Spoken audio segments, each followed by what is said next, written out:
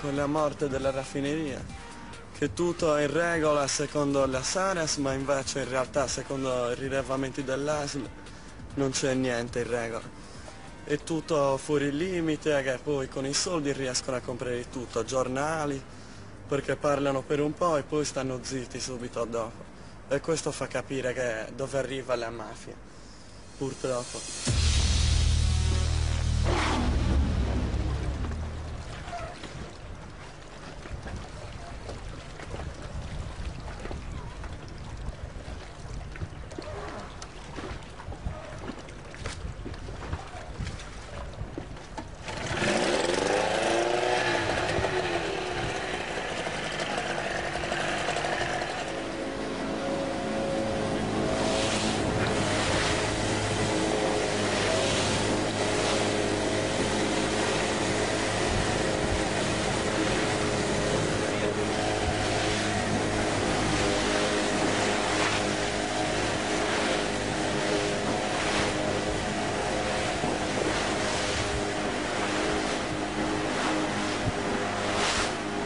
Questo nel Golfo degli Angeli è il mare più ricco della Sardegna, che noi lo lavoriamo con quel porticciolo che è quasi quasi invivibile, pur essendo esistente un progetto già, le- già pronti a, a dare in appalto i lavori e ancora non si sa niente.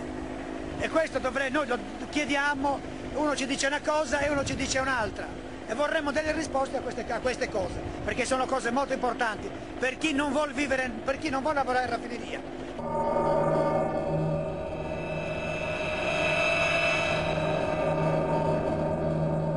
Giustamente non sono io che dentro questi pesci ho messo tutti questi veleni.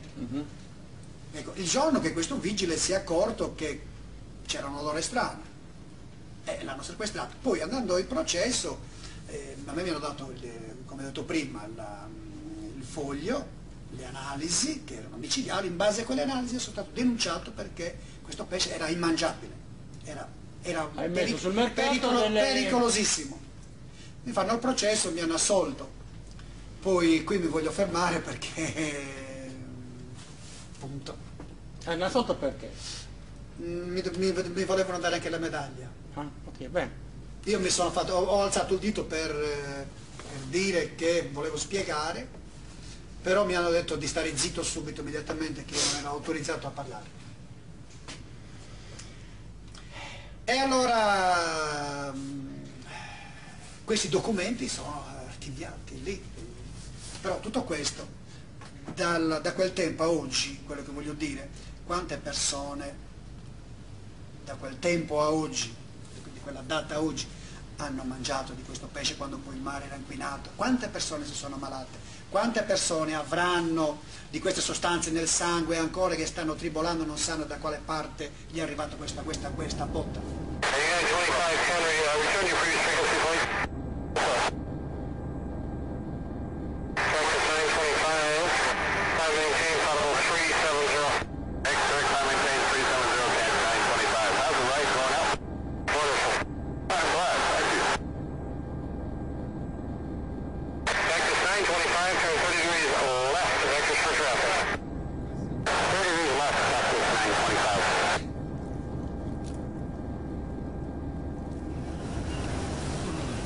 Sì, può darsi che qualcosina ci sia, perché logicamente qualche scarico c'è.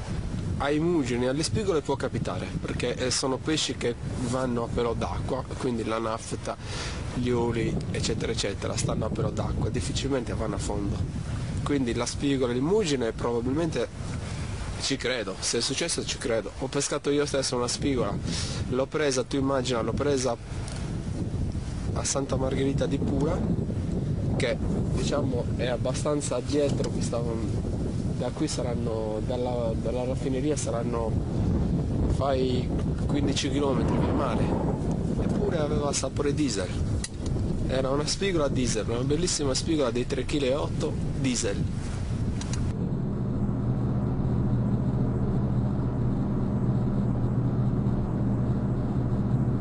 nei dintorni di San Rocco, Villa San Pietro, comunque nei, nei territori a fianco a San Rocco, che l'inquinamento è proprio appoggiato sulla nostra testa, le piante, il terreno, tutto quanto, è tutto quanto inquinato. Vi posso dire solo una cosa, che mi è capitato di pulire 20 rami di agnello che pascolavano nei dintorni della raffineria e abbiamo dovuto buttare via tutto perché aveva odore di zolfo.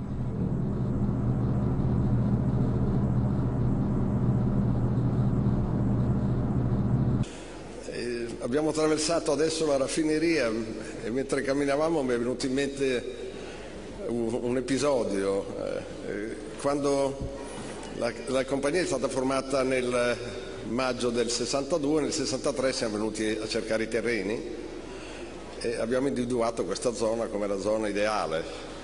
Un drappello di persone, di giovani ingegneri guidati dal mitico ingegner Zucco che aveva costruito la nostra raffineria di, in Sicilia e che poi ha fatto la Saras, eh, si sono addentrati nel terreno. Il terreno era molto fangoso e l'ingegner Zucco perse una scarpa, tornò con una scarpa e una calza, tornò in ufficio abbastanza, abbastanza turbolento come era lui e disse chissà se aver perso la scarpa è stata una fortuna o è stata una sfortuna. E un ingegnere, un ingegnere gli rispose, no guardi, è stata certamente una fortuna, siamo stati già inglobati dall'ambiente.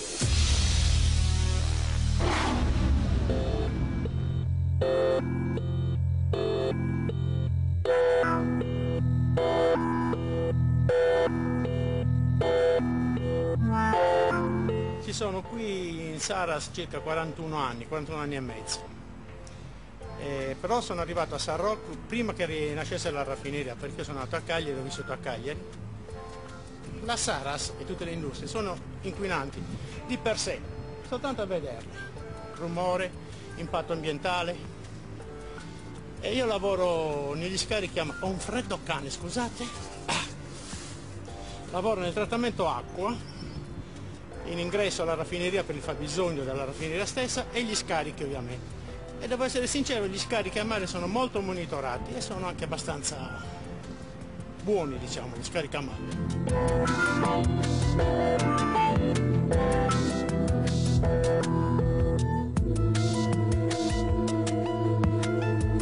La raffineria è attrezzata per raccogliere eventi naturali di straordinaria portata, quindi di piogge cosiddette torrenziali. Abbiamo dei sistemi di raccolta di emergenza che ovviamente sono in grado di contenere sino a una certa dimensione dell'evento naturale. Ovviamente in caso di eh, alluvioni vere e proprie, così come una città, così come eh, qualunque insediamento urbano potrebbe andare in crisi, anche una, un sito industriale, ovviamente se è straordinario come evento naturale, potrebbe metterci in crisi.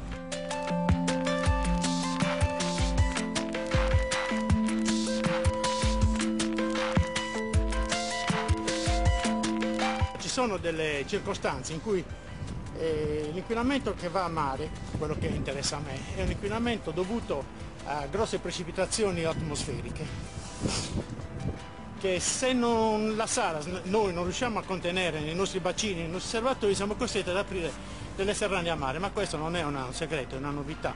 Sono serrande addirittura controllate dalla provincia, non si possono aprire se non in, in determinati casi e solo in quel caso lì dobbiamo, siamo costretti a, scaricare a mare. Scarichiamo acqua con fango.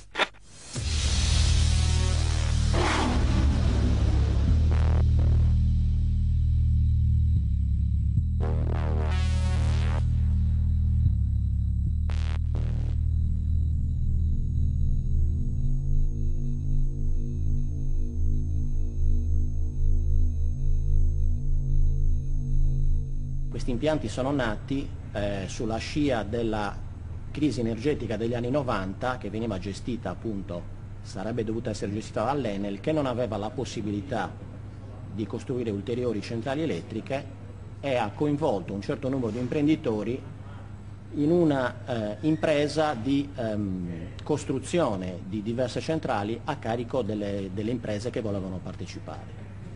Questo è il principio del CIP 6, cioè della agevolazione di tipo um, sulle tariffe elettriche eh, che ha eh, appunto consentito agli industriali che volevano partecipare di ottenere un, un incentivo per costruire centrali.